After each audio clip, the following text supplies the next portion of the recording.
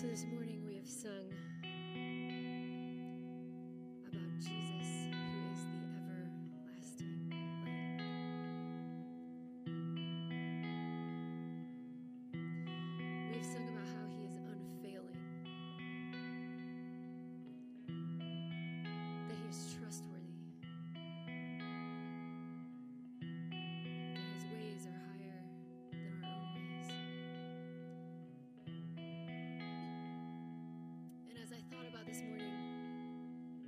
this verse came to mind, these verses. It's in 1 John.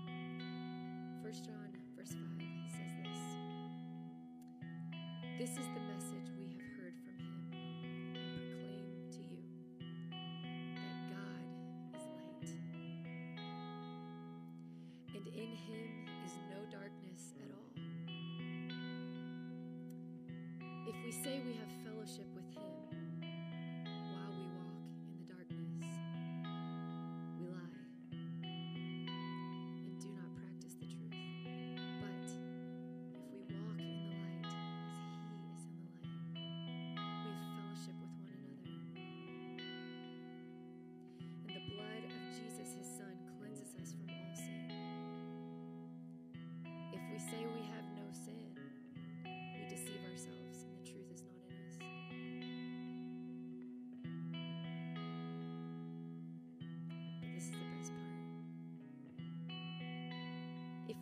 confess our sin, He is faithful and just to forgive us our sins and to cleanse us from all unrighteousness. You know, that's what we sing today. The light that we talk about, it's not just kindness, it's not just love It's a light that the darkness runs from. That is God. A light that is so powerful that sin shame and sadness and death run from Him. And as this, this passage says, Jesus offers forgiveness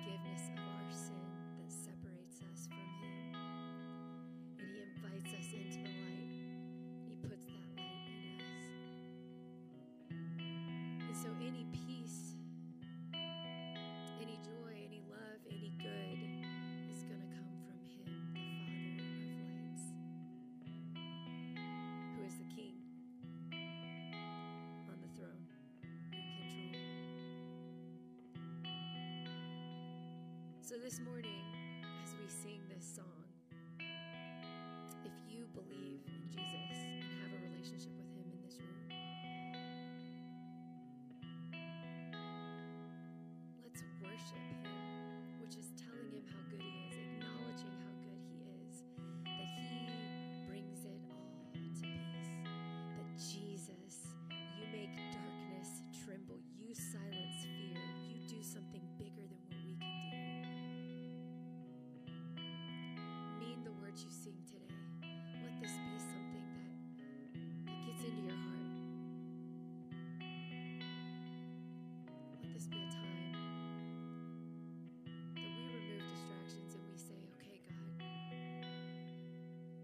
know the specifics of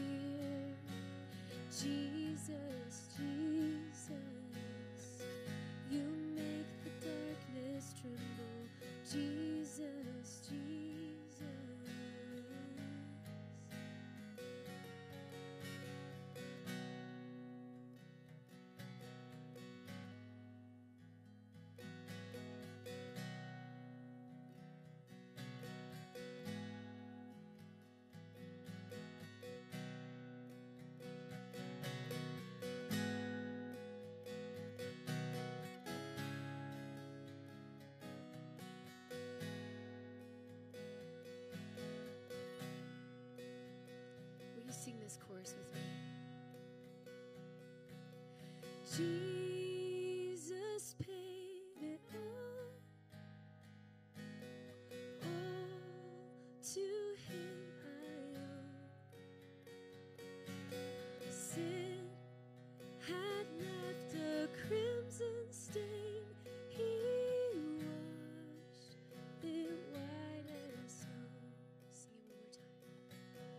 Jesus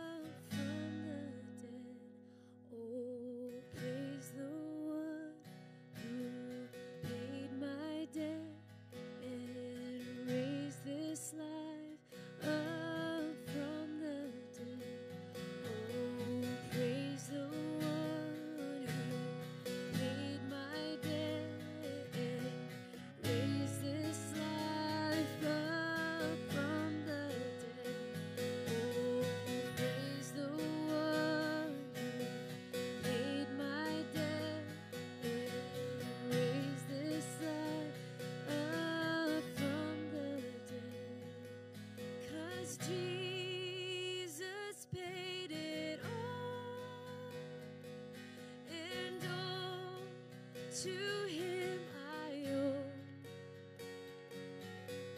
Sin had left a crimson stain. He washed it white as snow. Dear Jesus, we know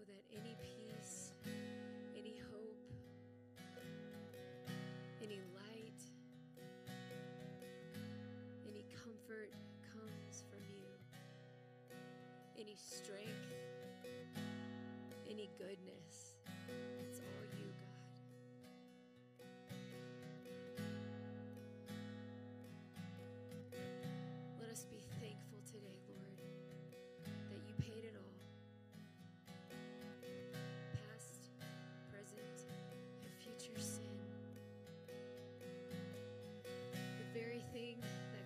separate us from you forever.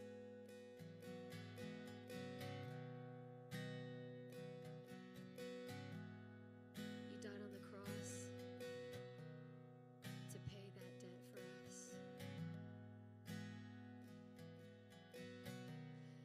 God, I just pray that we would be ever focused, our eyes attentive to you. Let us pay attention, God.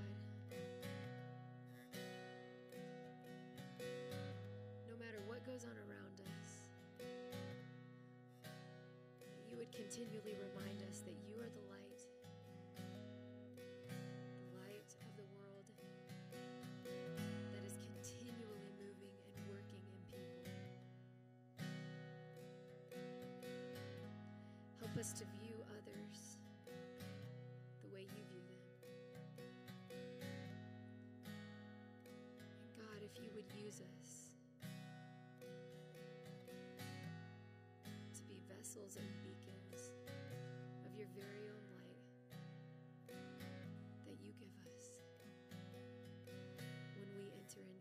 relationship with you. Jesus, we love you, and today we just ask that your word would go forth into our hearts with strength, that you would be with Steve as he shares from your scripture, that through him you would say what you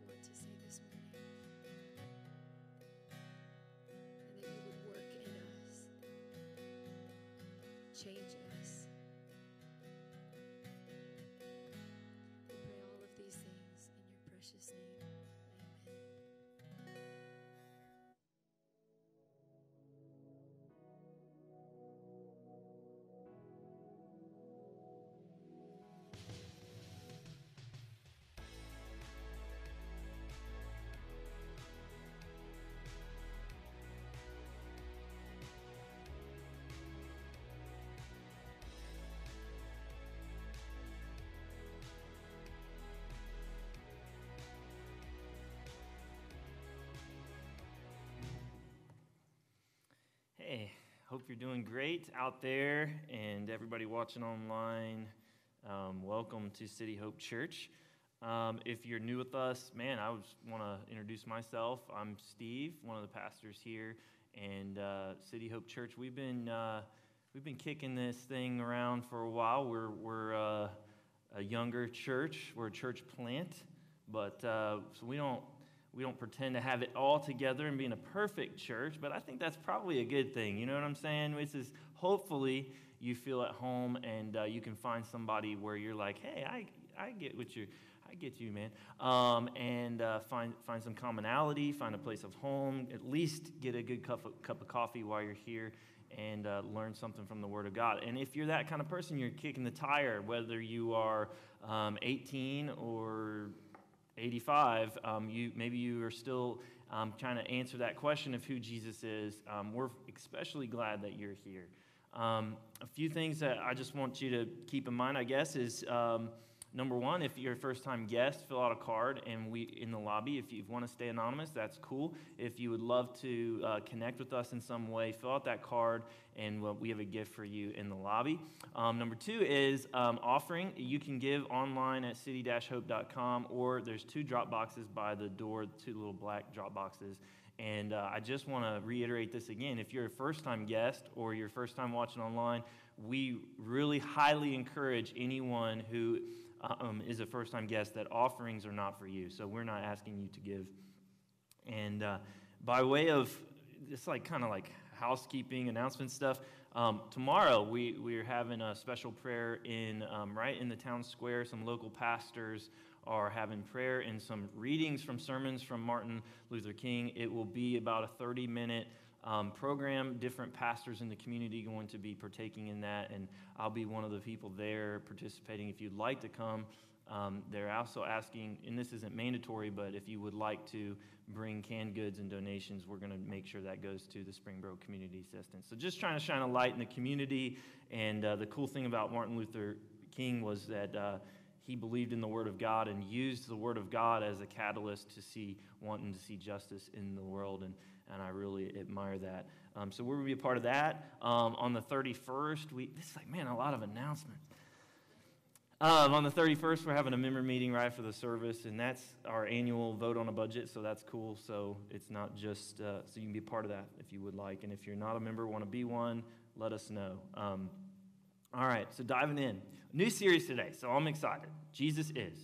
And we're going to be camping in this for a while, and I think it's, you know, it's interesting in society, what we used as actually our logo. I was talking with one of our people in our church, uh, uh, PR, and, and he came up with this idea. And, and when you Google Jesus, this, this is the first 60 um, images that come up, is what we used for our, our, uh, our image logo. And, uh, and it's like, it kind of immediately reveals that there's so many different concepts about Jesus um, d- differing on opinion on what his race was, or is he just a good man? Or if you like the movie Talladega Nights, do we pray to the baby in the manger, or does he have a tuxedo T-shirt on and he likes to party? Um, is he homeboy Jesus? We've seen that T-shirt.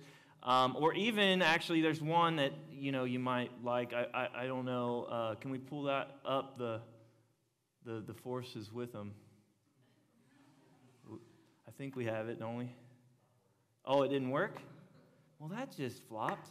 There's a picture of Obi Wan, and uh, somebody, some, I guess, grandmother set this picture of Obi Wan Kenobi, and it really looks like Jesus, and she kind of put a cross next to it, and I don't know. I guess it would be a lot more effective if you could see it. I, I thought we had it. Now I'm disappointed in you guys. I'm just kidding. You're fine. Huh? The computer exploded. Whatever. Excuses. No, I'm just kidding. Um, it's all good. Well, you, can see these images, you can see these ideas of Jesus across cultures and society. You know, um, is he a good man? Is he just a good man? Is he a prophet? Is he the Son of God? And so I think if we all fill in the blank, Jesus is, and you're honest, and you were going to write out a page, I think you're, what you would probably write on that page is who Jesus is to you. And I just want to ask the question is, is what you write on that page in sync with what the people who knew him in the first century, what they wrote on a page. If, if you wrote your page, Jesus is, and you fill that out, and then you, you compare that with what the first century manuscripts of, of this, these people who walked and talked with him, if you compared those side by side, are they in sync? See, that's one of the most important things that we can do is not just say, Who is Jesus to me? but to say, Who is Jesus in reality? Because Jesus to me could be anything that is false, and we could be under false pretenses. But Jesus, who he really is, as revealed by the authors of Scripture, is really the root of what we want to get at. And so we're dive into the Gospel of John, which, I mean, immediately I'm like excited, intimidated, all of the above. John is immediately we know he's one of the inner close three the three closest disciples to Jesus because um, multiple occasions it says Jesus went away with his three closest disciples. Um, we have an instance that was called the Transfiguration where he went into the mountain to pray and he had his three closest disciples. John's included in that. In the lists of disciples, he's always in the first three listed. But then we also have these clues that he was closest to Jesus. You're like, what? Closest. This is, I mean, he, in, he reveals his title as the one who Jesus loved. It's so funny that, like, that's how he writes about himself. This dude is hanging out with all the other disciples, and when he writes about himself, he's able to write about himself, and no one gave him guff. They're like, yeah, we know who that is. When he said, the one who Jesus loved, everybody knew that's John, the son of Zebedee. Isn't that remarkable? Like, if I walked into a family get together and I said, the one who my mother loves the most, everyone would know that was me. And there would be no dispute among my sisters that I am the favored one. You see what I'm saying? This is what John, this is how he called himself, the one who Jesus loved. It's like, did he not love the world, bro? Did he not love all of his disciples? No, no, no. He's just saying, look, this is the one that just was closest. One other remarkable thing about that was when you have, when you have the scene of the Last Supper, which there's been beautiful masterpieces of paintings done about this, uh, speculating what it looked like. But when it's described verbally in the narrative of Scripture, you hear that he's, John is the one reclining on Jesus. You know, you know, he's like physically hanging on him, like, man, I just, I want to be near you, bro. I just, like, I just love you. I just want to, if they were just hanging out, I just put my arm around him. Like, I just like Jesus. I want to be near him. Here's him, here's me. That's the word picture we have in Scripture about John, who wrote this account. 21 chapters about who Jesus is. 21 chapters. What a remarkable book. And John, the one who wrote it, he's in love with Jesus, and Jesus in love with him. It's a beautiful thing. You know, and, and for those of you who don't like physical touch, Shane, um, he actually, we had some kind of weird agreement that's only imaginary in my mind that he never really agreed to, that I would get one hug a year during Christmas. And uh, he didn't hug me this year, so now I get two this year. Um, not funny. You guys are really weirded out by hugs. It's okay. We can air hug, bro. Um, but, you know, I, I, have this magnet on my uh, refrigerator, and um, I guess my wife's a fan of the show Friends. I'm okay with it. Um, and on the magnet, it just sometimes I'm like, getting my, my, my, cereal in the morning or whatever, and I'm just staring at that. I also have some Princess Bride magnets because I like that movie. Marriage. Okay. But the Friends magnet has all the characters, and we've speculated about this. It's been a conversation in our house. When was this picture taken? And our conclusion is it was taken during season two of Friends um, because of their clothing and different things. But anyway, you guys still with me at all? There's, this is about Jesus. I promise. on the little magnet, it's a picture of the whole cast of friends, and the way they are, they're like hanging on each other. And Joey has his arm around the waist of Phoebe. And I'm like, they never dated. That's so weird. Why are they touching each other? It's like, so I asked Allie, I'm like, do you have, like, do you have any friends that you would put your arms around you? Because that's not cool if they do. Um, but, like, that's the idea of the show Friends, right? That they were so close. It's like, okay, we're going to take a picture now. You guys just hang on each other. We get this. That was John and Jesus hanging on each other. And, and I get we have aversions to touch in our society for a lot of reasons. You know, maybe you're not a touchy feely personality, maybe you are. They didn't have all the stigmas necessarily that we have in the ancient first century times. John was close to Jesus. I'm actually thrilled to know that because I want to get to the bottom of this. Is Jesus who society says he is? How do you judge any truth? It's kind of like what we mentioned about Martin Luther King. How do you actually objectively make a judgment about justice of any kind if you do not have, you can't decide what justice is if you don't have truth. And how do you have truth if you do not have a creator God who reveals objective truth? If all truth is subjective, then justice is subjective. And that was actually one of the most brilliant things about Martin Luther King as he revealed as we're celebrating his birthday tomorrow.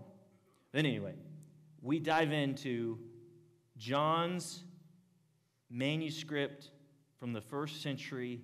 It was written in Greek, it's been translated into English for us to understand it. And I believe a very reliable way so that we can, and if you have any doubt of that, you can look at the original Greek language. Many words in here are, are very significant in the Greek language. Um, one is, and you read the Gospel John, pisteuo, used 98 times the word believe. Um, if you ever wonder what is the main point of John, believe, 98 times. If you ever wonder what the main point of Scripture is, believe, faith. Not just that you would subscribe to mentally to a set of doctrines, but that you would have a transformative faith. It says, you know what, I actually surrender.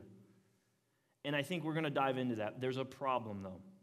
I just want to read one word. This is, just bear with me. This is how Steve's crazy brain works. Of course, I've already talked about friends, and I tried to show you Obi Wan Kenobi, and I didn't even have a picture, and you're probably like, what's he talking about? But I'm going to read one word from verse 5, and then we're going to come back to it, and then we're going to read verse um, 18. This is like a really weird way to do it, but this is how we're going to do it. Verse 5, one word in the middle. It probably stands out to you. It's in there twice darkness. We have a problem, and the problem is darkness. How do you, are we talking about physical darkness, spiritual darkness? Bro, that was dark, man. You know, it, was a really dark movie, but I still liked it. You see how we use that terminology? What's meant by this? Uh, it is a reference to physical darkness, but it is its true meaning is used as spiritual darkness. So, what is spiritual darkness? How would, how would we describe that? Furthermore, then what is the answer? And as we dig that up, in the process, we're going to see who is this person, Jesus. Verse 5, keyword darkness. Verse 18, no one has ever seen God. No one has ever seen God. No wonder when you Google Jesus, there's Rastafarian Jesus, Black Jesus, White Jesus, Homeboy Jesus, Snoop Dogg Jesus, whatever. No one has seen him. Obi-Wan Kenobi, Jesus. Jim Caviezel, Jesus. And we all have this picture in our mind. And does that picture line up with what the Word says? That's the problem. The problem is we're in darkness and we have never seen the true God. I've never seen him. That's the starting point of the narrative of John. He realizes that his audience is not just, they've been in a time of darkness. Politically, you think about the, the Roman Empire has taken more and more and more power. They've gotten rid of their, they, they kind of have a shadow government at this point. There's no real Senate. It's just all one party system that kind of just does what they want. That's why Pilate alone could decide that Jesus was crucified. That's why when John the Baptist, who we're going to read about in a second, when he, did you know John the Baptist was killed for political reasons, not spiritual? That's why we say the first martyr was Stephen. Actually, John the Baptist was beheaded first, but John the Baptist was not beheaded for preaching the gospel, even though he was a fervent preacher of the gospel. He was beheaded for speaking out against corruption of Herod. And Herod's wife goes, Behead him. Talk about spiritual darkness, political darkness. This is the setting of the New Testament readers. And then you have Greek philosophy coming in. The Greek language has now infiltrated, it's gone all around the world, Hellenism and the Greek gods. And where is real truth? How do we know in the midst of many, many gods to worship? How do we know who the one true God is? And John starts out by saying, We've never, let me just, you got my, I'm to get your ear for a second. We don't have, we've never seen it. So let's start there.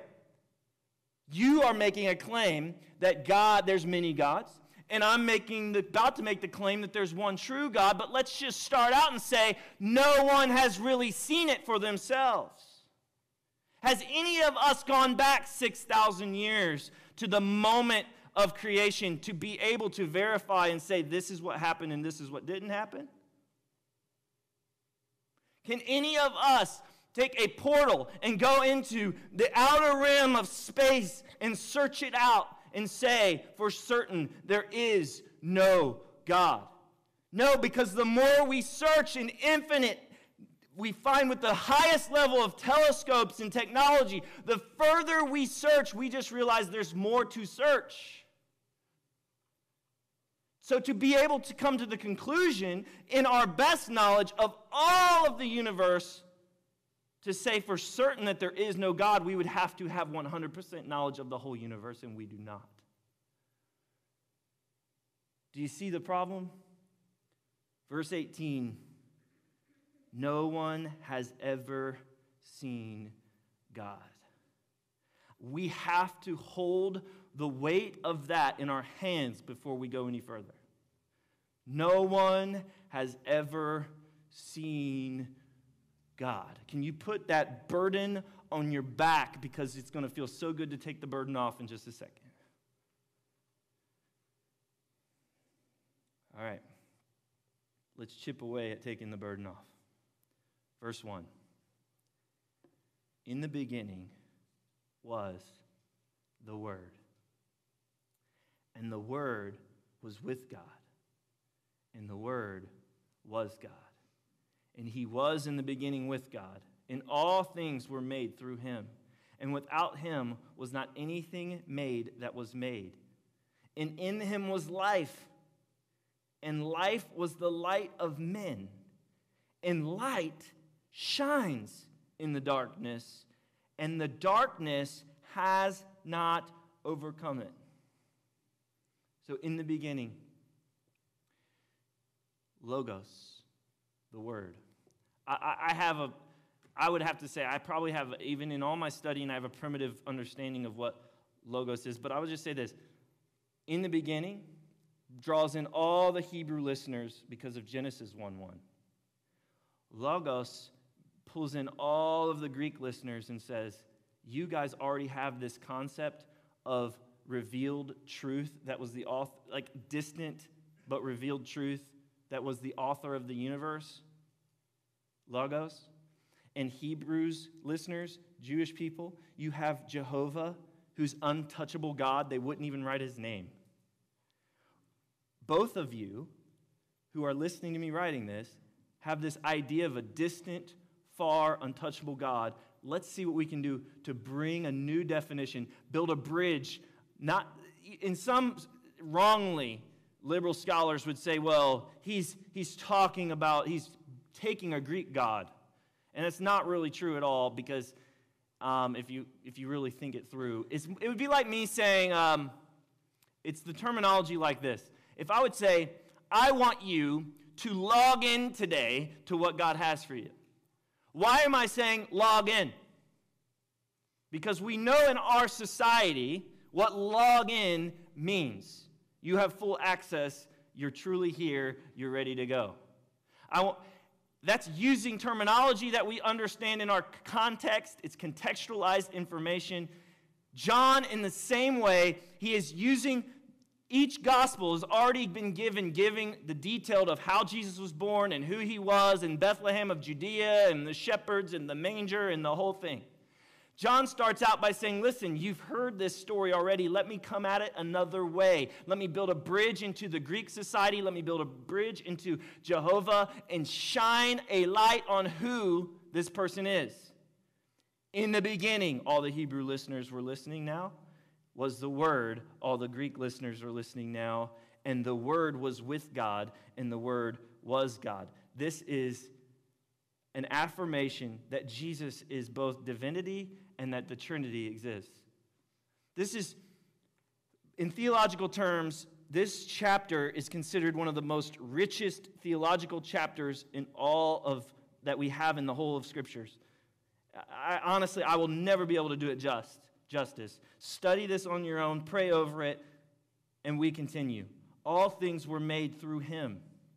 And I would just say about that is for all things to be made by him, he has to be unmade.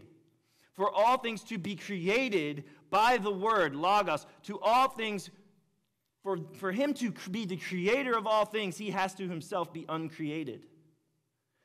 How do you, how do you have someone who has the ability to speak things into existence, but yet who spoke him into existence? So He's the unmovable mover. He is the uncaused cause. He is the first being, Jesus.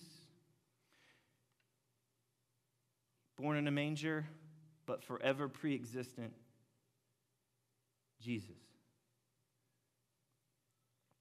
Man, there is a mystery to God. No wonder we don't blame John for borrowing from what he could make sense of this. He had to use the Greek language. He had to use Greek concepts. He had to use the Hebrew concepts to pull them in to be able to understand. Do we not lack in our ability to even describe such a God who's transcendent but yet personal? Which I'm insistent that the God of the Bible is transcendent yet personal, and that only fits the description of one person, Jesus. So, but is not everything we would ever say as human beings like unworthy? Even when we sing, Holy, Holy, Holy, like, are we worthy to even sing that? Like, God has to give us grace to be able to sing to Him. He has to be able to give us grace to speak about Him. He has to give us grace to be able to understand His Word. Because we could read the words on this page and misconstrue them, misconstruct them. We could twist them. We could misunderstand. We could, we could be living a lie if it were not for something to reveal to our hearts that we could understand. Oh, that today darkness would be rolled back. Oh, that today that our eyes would be opened. He says, In him was life and life was light. So life is light. Same thing. No need to talk about them separately necessarily because they are the same thing. The life was the light of men. And the light shines in the darkness, and the darkness comprehends it not. John 3:19 says this, further understanding our problem that is darkness. John 3:19, and this is the judgment, Jesus speaking, that light has come into the world and people loved darkness because, rather than light, because their works were evil. You know what that verse tells me? It tells me that darkness is not that we can't see, darkness is when we won't see. Let that sink in for a second. Darkness is not that we can't see, darkness is when we won't see. And I think that's truly the argument made by John, the close disciple of Jesus, in chapter 1. So we, we continue. Verse 6. And there was a man sent from God whose name was John. He came as a witness to bear witness about the light. Witness is a word used very much in the Gospel of John. He's, he's a witness of the light. Are you a witness of the light? If you're a believer, that's the question. Are you a person, if you're a believer, are you a person who's content to say, you know what, I'm a Sunday person, I, I go to church on Sunday? Or are you a person who is literally an advocate of light everywhere you go, 24 7? Not a perfect person, but you are a witness. Why? Why was John? Now, here's this can get confusing, so I'm going to be careful here. This John, this reference is John the Baptist. He's actually the cousin of Jesus. We hear the story of his birth in other gospel accounts. So there's, it's like, man, in the first century, they're naming people same names. Isn't that weird? No, we do that today. Um, we, people have the same names, but this is John the Baptist, is what they called him. And then there's John, the son of Zebedee, who was the disciple of Jesus. John the Baptist predates Jesus in terms of his ministry, was before Jesus, paving the way for Jesus' ministry. John, the son of Zebedee, was one of the disciples during his ministry. He's actually the longest living disciple. He wrote the Gospel of John, 1 John, 2 John, 3 John, and Revelation are the last book in the Bible. So hopefully that helps a little. But let's see what it says. And he was not the light, but he came to bear witness of the light. Now listen to verse 9. This is one of the key aspects of the chapter. The true light, which enlightens everyone, was coming into the world. The true light, which enlightens everyone, was coming into the world. You see how with the problem was darkness? The problem was no one seeing God, but yet the so now the answer is true light has come into the world to enlighten everyone. You know, we could thank Edison for lighting up the world and many others. We, we have bright lights. We, we light up our cities, we light up our homes. But what is this to be enlightened spiritually? To be awakened to see what we could not see. You see, if Jesus came, he's available, he's revealed himself through his, the Word of God, and our darkness is not that we can't see, our darkness is that we won't see what is our biggest need, and the biggest need is to be enlightened. What is the thing? You say, Well, I've researched this and I've heard this, and there's arguments on both sides about who Jesus was. What will tip the scale for you? What will enlighten you? What are you waiting for that will help you make that decision? Is it who told you? Is it, let me ask you this are you completely unbiased when you read the Bible? Are you completely able to read the Bible without secular ideas twisting you to assume that Jesus isn't who he said he was? Are you able to read the Bible? Many of us here been hurt by church. I have, many of us have. But are you able to read the Bible about who Jesus is without a little bit of a chip on your shoulder saying, I think Christians are hypocrites and they hurt me? Because you will be enlightened if you can see Jesus despite the flaws of humanity. Because the flaws of humanity have been plaguing us for centuries, and they're not going to go away anytime soon.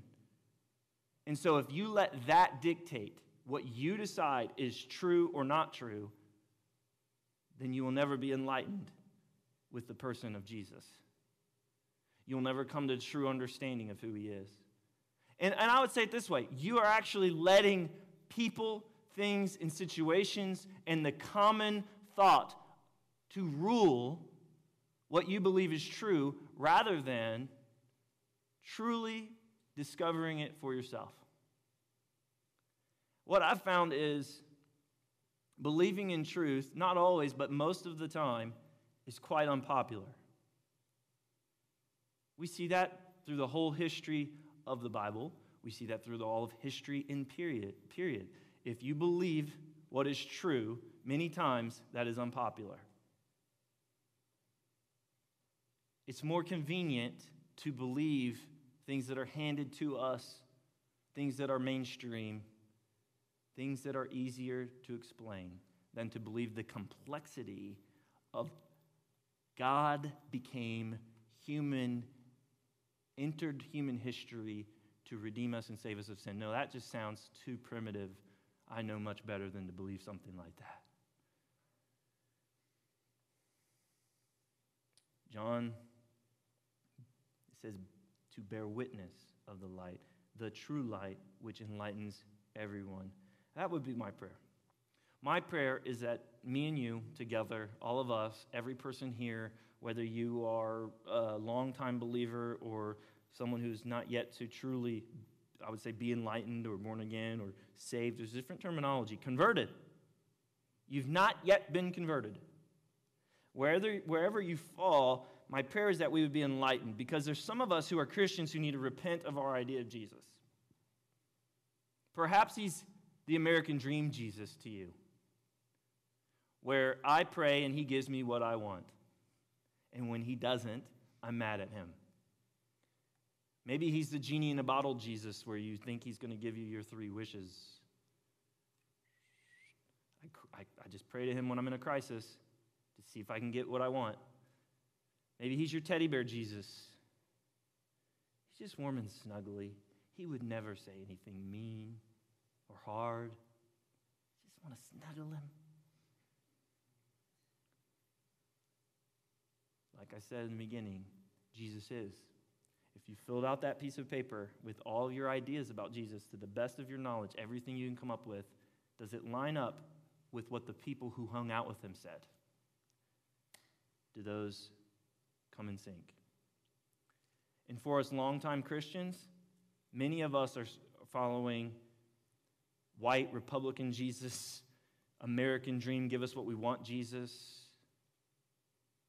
and the truth is, is he's transcendent, creator of everything, the light which enlightens everyone who is coming into the world. Really quickly, he was in the world, and the world was made through him, and the world did not know him. That's part of the problem. So we have that word that stands out to me in verse 5 darkness. How do we describe this darkness? He came into the world, verse 10, and the world didn't know him. He came to his own people, verse 11, and they did not receive him. They didn't know him. His own people didn't receive him. But verse 12, here's a little hope in the, in the end of the tunnel. But to all who did receive him, who believed in his name. So now we have some synonyms. Receiving Jesus means believing in him. He gave the right to become the children of God who were born, listen to this, many times I, I, I, thought, okay, John 3 is when he talks about being born again. This is the first, in the very first chapter, Jesus, the story of Jesus starts with a need to come out of darkness, to be enlightened. Synonym for that, to be born again. We were all born once. We were born in the flesh, but you need to be born again. You need to be born spiritually. He says, You're born not of the flesh, nor of the will of man, but of God. This is a supernatural thing happening as much as I am a fierce defender that, that God is not someone who overrides the will of men, I'm also wrapped up in the mystery that He must convict your heart, regenerate your heart so that you can believe in Him. How do you even understand Something like that. Your heart must be enlightened. Many of us are trying to reason our way to God, and God, the Bible is not anti reason. But in your search for reasoning, do not leave your heart behind. Because sometimes it's not, I can't see God, it's I won't. That's where our heart issue comes in. So, to those who did receive him, he made, gave the right to become the children of God. In verse 14, and the Word, the Logos, became flesh and dwelt among us. The word dwelt is he tabernacled among us. This is the literal word, tabernacled. You know, and, the, and they had these tabernacles which represented the presence of God. This was a holy place. You can't even enter this place. He tabernacled with us. The untouchable God. We can't even write his name. We're not worthy. How is it possible? This is this is the breaking news of the first century. This is the greatest thing that's ever happened. The untouchable creator God tabernacled. He came to dwell with us. He said, I want to be with you, and you were separated by darkness and evil and sin. You remember what happened in Genesis? He said, If you eat of the tree, you will surely die. A promise. How could God save anyone after that? Because they ate of the tree.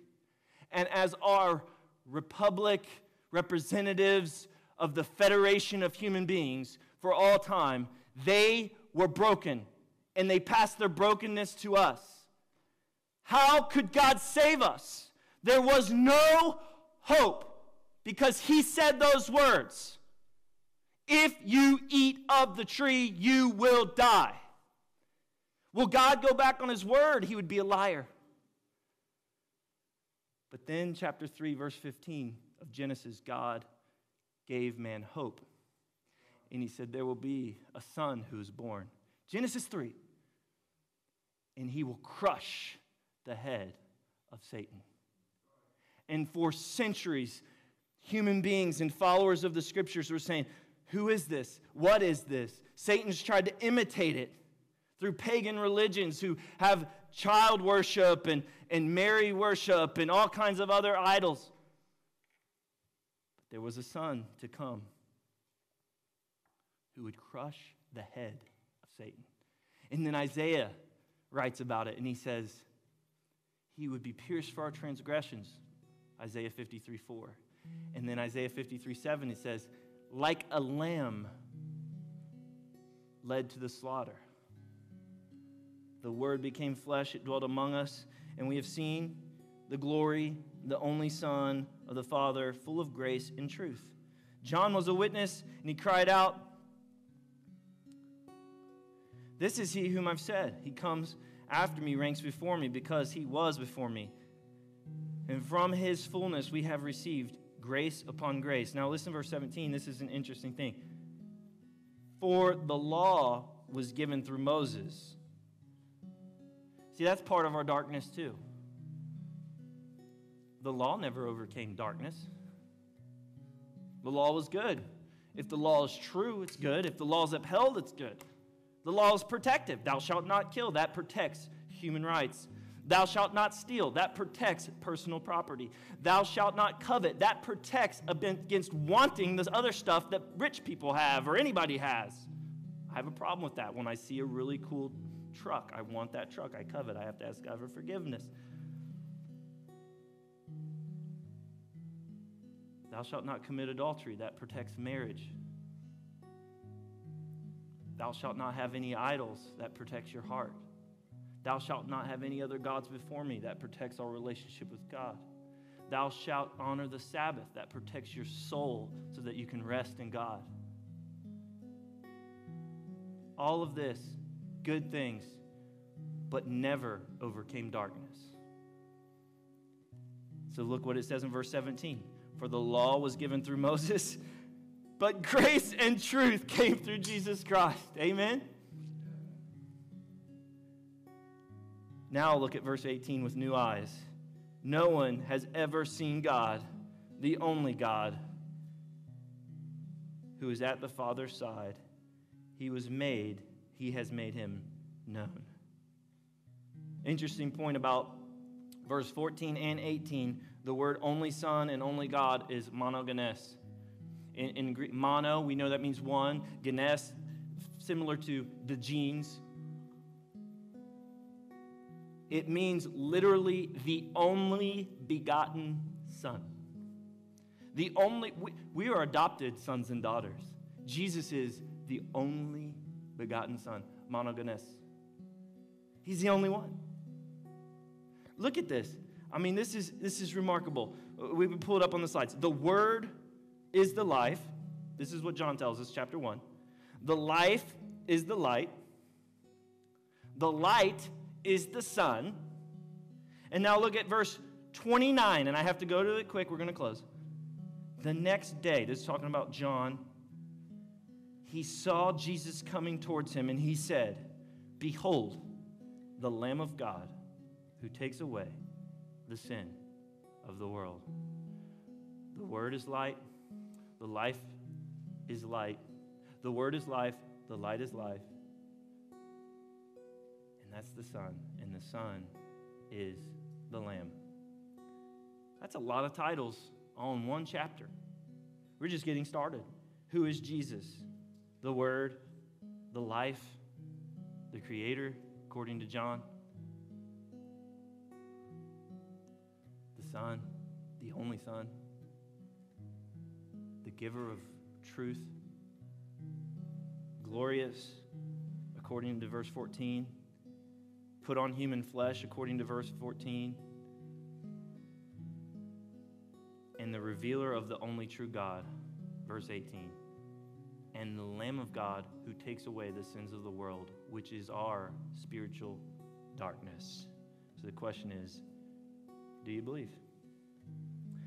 I'm convinced the issue is not solely we've never seen God because he's invisible and then we put the blame on him.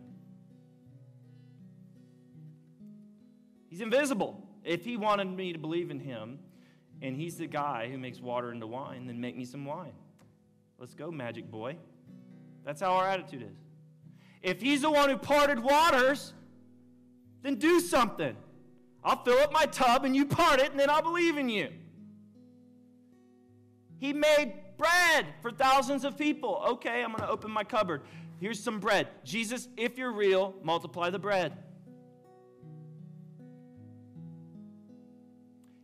He walked on water. All right, I'm going to go to Caesar's Creek and just test this out.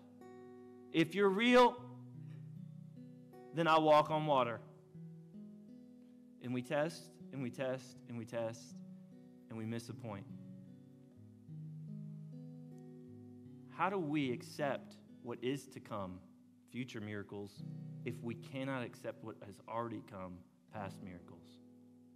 There is no faith in just testing God and fueling our blindness because really, what it is is Steve Schick is stubborn. And you are too. We're just stubborn. May God open our eyes that we, maybe the first sin we need to ask forgiveness is a hard heart or a little bit of stubbornness. Maybe it's a big amount of stubbornness. What is standing between you and believing in Jesus? Jesus is the Word, the Creator, the life our very life. Zoe is the word in the Greek. He's our vitality.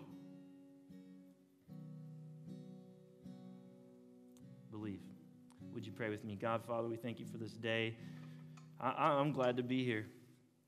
God, I just thank you, and I just pray that you would speak to us through your word. We just humbly study it, look at it, analyze it, and we receive it today. Um, we know it's infallible. I am infallible. So I just pray you'd speak to our hearts because we need the Holy Spirit. We, we need you to reveal, we need you to enlighten our hearts, enlighten our minds, There's a mystery here to behold. You're, you're a Trinity, you're three, you're one. How do we understand this God? You're a creator, but you became flesh. How do we understand this God? The world is shouting, You're not who you say you were. The world is shouting, There's no way you spoke the world into existence. The world is shouting, There's no way that sin is the real issue of our hearts. Let's all do as we would like to do in our own way. That's so revealing, God. Open our hearts to you. We just, we're here to sing about you. We're here to know you more, to study you. And I pray that every person here, that you would work in their life. Meet them where they're at, as you've done with me. We just humbly ask your forgiveness of sins. We ask you to be with our church, our community. Many have been sick. We mourn. Many have lost lives. This year, this past year, I think if we talked about darkness, we've all felt it. How does light pierce such darkness, God? We just look to you. We look to you today. We worship you. We praise you above all others. Our hope is in you above all others. Thank you for your word. I just pray that who you are, that reality would take a grip on us. Not just an image that we can Google search, but you'd put an image on our heart of who you truly, truly are.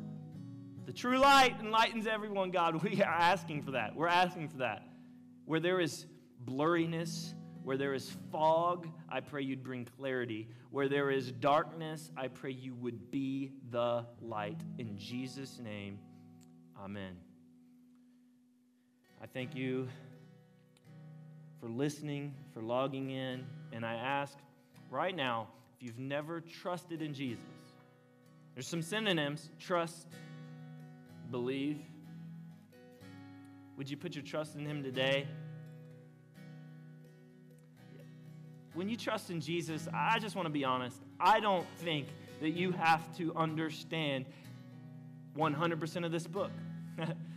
no one actually does except God. But I can tell you what you need to do is you need to respond to what you do understand who Jesus is. He's revealed himself. If only today, for the first time, he's revealed himself. In all of our seeing, we still miss to see it. In all of our knowledge, we still don't know. In all of our lights, we're not enlightened. Would you receive Jesus by believing in him today? I, I, I just, I still believe that is a moment where you decide and say, Jesus, save me, come into my life. Jesus, I'm believing in you that you died for me. You're the Lamb. This is real. And like John said, He's the Lamb who takes away the sin of the world my number one goal, objective, mission is that you would see that and decide for yourself to believe in Jesus. I, I, I don't want to trick you into that. We always have to be careful. I, I, I think in the last year, we've seen people come to faith in Christ and people baptized. And every one of those people, to the best of my knowledge, it has been their personal decision to trust in Christ. No one made them. I would do my best to answer questions. If there's a wall standing between you and Jesus, I, will do anything to tear down that wall. I'll do my best. But you have to decide for yourself. It can't be your parents' faith. It can't be your grandparents' faith. It can't be your cousin's faith or anybody else's faith. Going to church don't make you a Christian. You must believe on the Lord Jesus Christ and you will be saved. It's your decision to trust Him. It's a faith decision. And I invite you to that. If you've already done that, I invite you make sure as we go in the next few weeks, as we study the Gospel of John, is your definition of Jesus line up with their definition of Jesus? Are they simpatico? That would be a great place to be. We move forward unified, knowing we found the one true God who's revealed himself, Jesus. We know him, we believe in him, we've received him, now we sing to him and we are a witness for him. Let that be so. Would you stand with us would you sing with us as we close out our service with the song? And if you've never trusted Jesus, I encourage you to do that today. And if you need to talk to somebody, I'm going to be available during this next song. There's no reason to leave if you got a question. No one will make you feel foolish. You say, Well, you know what? I always thought I was a Christian, but now I'm not sure. Come talk to me. Talk to me after, talk to me during the song. We're here for you, okay? That's why we built this church, and we hope that God's glory will be through it. Let's stand, let's sing. Jesus, Jesus, how I trust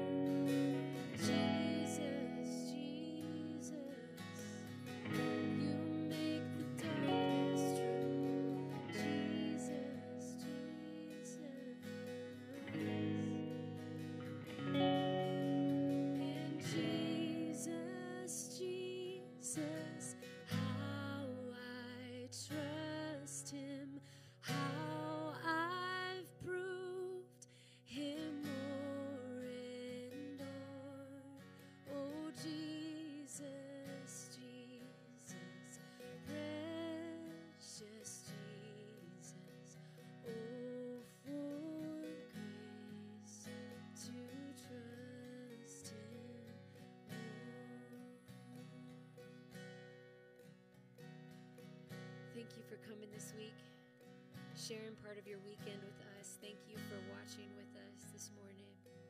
We love you dearly. We pray for you. We're so thankful for City Hope and all who enter. May the Lord be with you this week. We can't wait to meet again next week. We'll see you. Isn't it just like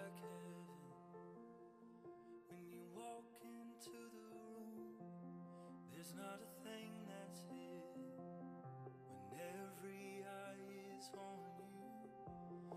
Can't get enough of your presence. It's the perfect point of view. Isn't it just like, just like, just like heaven? Mm-hmm. Come a little closer, stay